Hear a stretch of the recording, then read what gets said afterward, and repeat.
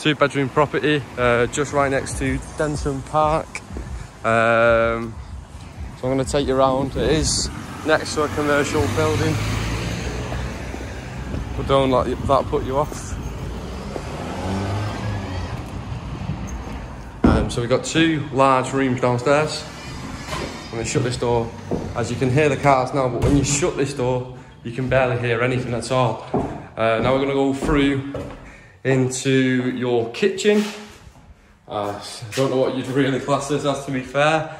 Um, now we're going to go out into the back garden. As you can hear, you can't really hear the cars that are going by, so it's a decent, a decent house. To be fair, recently renovated. Just, just the flooring hasn't been put down. Reason being, I don't know. Um, I'm going to take you upstairs. Uh, there is two double bedrooms, uh, a new, a newly fitted bathroom.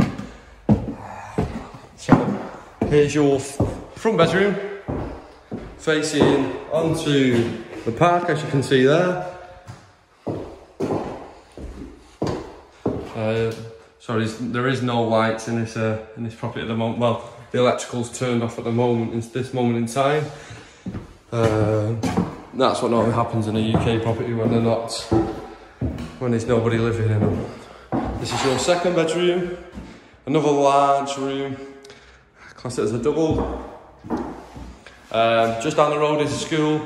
You've got Crown Point Shopping Centre, five minutes walk. You've got Lidl, two minutes walk. You've got the High Street, I'd say another two minutes walk. So this property is in, in an ideal location.